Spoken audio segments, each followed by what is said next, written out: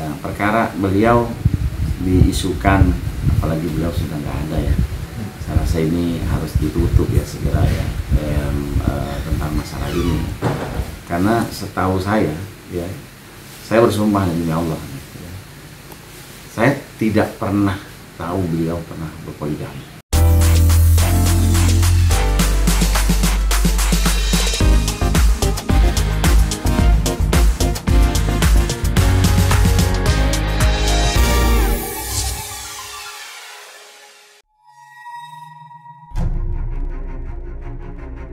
Pernyataan Umi Pipik yang menyebut jika sang suami almarhum Ustadz Zefri Al-Buhari atau yang akrab disapa UJ telah berpoligami dan memiliki tiga orang istri, di mana salah satunya adalah seorang publik figur masih menjadi buah bibir di tengah masyarakat.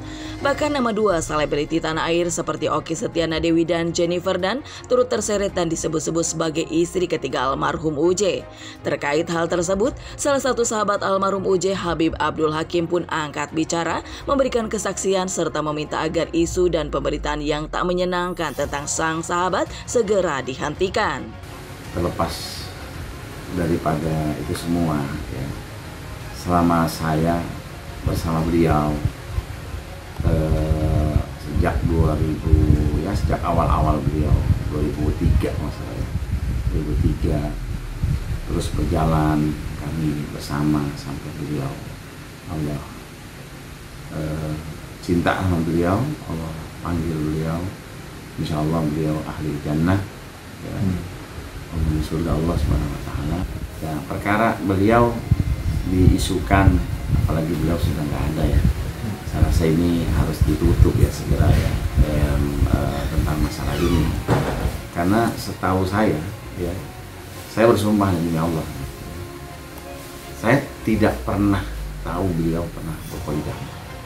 Ya, bahkan ada teman-teman beliau yang yang berpoligami ya, beliau nasihati. Beliau nasihati beliau eh, ya ngasih wejangan ya. jadi setahu saya nggak pernah ada beliau itu eh, dengan wanita lain selain Umi Pipik selain Pipik tapi kalau ada berita ya sumbernya dari mana silakan aja dicari sumber itu ya tapi dengan tujuan bukan untuk apa pun. Ya bukan untuk menjatuhkan beliau. Beliau tuh insya Allah mulia ya. Baik hidupnya maupun setelah meninggal terlihat kuburannya sampai hari ini nggak pernah sepi. Ya ini ciri orang yang baik. Makamnya selalu ada yang mengunjungi selalu ada yang merawat selalu ada yang datang. Ini ciri bahwa orang ini baik dan keluarga beliau nggak ada yang benci. Baik adik kakak bahkan istrinya anak-anaknya di mana pun tempat menjadi dambaan buat semua orang jadi saya rasa ini adalah satu hal yang tidak perlu diperpanjang karena beliau telah ada bersama Allah ya, bersama para syuhada insya Allah. Jadi nggak usah kita perlebar perpanjang. Sebagai sahabat dari almarhum UJ, Habib Abdul Hakim mengaku tak menyangka dengan adanya pernyataan dari Umi Pipik tentang poligami yang dilakukan suaminya. Meski begitu, sebagai orang yang juga sangat mengenal baik Umi Pipik di waktu lalu, Habib Abdul Hakim mengaku tetap berprasangka baik terhadap istri dari sahabatnya tersebut terkait niat dari dipublikasikannya hal itu. Ya shock juga. Ya, semua orang shock. Teman-teman saya, teman-teman almarhum tuh kontek-kontekan semua, kaget semua. Bahkan saya kontek-kontekan, emang bener, emang bener, emang bener. Gak ada yang bilang gak, gak ada itu semua. Ya, saya kontak-kontak juga keluarga benar enggak ada saya kan tanya sama yang bersangkutan gitu, masalah ini ya ya tentunya kalau yang bersangkutan eh, apa udah mengutarakan ya silakan pertanggungjawabkan aja gitu. intinya kami saya pribadi ya, saya pribadi yang mengucapkan wallahi saya tidak pernah tahu ya bahwa Ustadz Jeffrey Al Makfullah itu melakukan hal itu. Nggak pernah. Ya. pasti saya tahu kalau kalau beliau dekat dengan saya beliau dekat dengan teman-teman. Insya Allah. Ya, jadi sekali lagi eh, kita yakini ya, beliau insya Allah eh, tidak ada pernah masalah. Insya Allah ya boleh aja. Ya itu kan hak daripada Umi Pipi ya. Harus daripada setiap orang ya mau berpikir apa pun. Tentunya bukan jadi konsumsi publik ya. Karena beliau sudah benar ada ya. Tinggal kalau memang benar kalau saya pribadi mengatakan saya nggak pernah tahu ya, pernah tahu ya, ya kalau kalau memang benar ya langsung aja ke pribadi-pribadinya bukan untuk di eh, media media sosial. Insya Allah ya. Insya Allah tujuan baik harus dengan cara yang baik harus dengan eh, eh, apa namanya kemauan yang baik semua Insya Allah akan baik.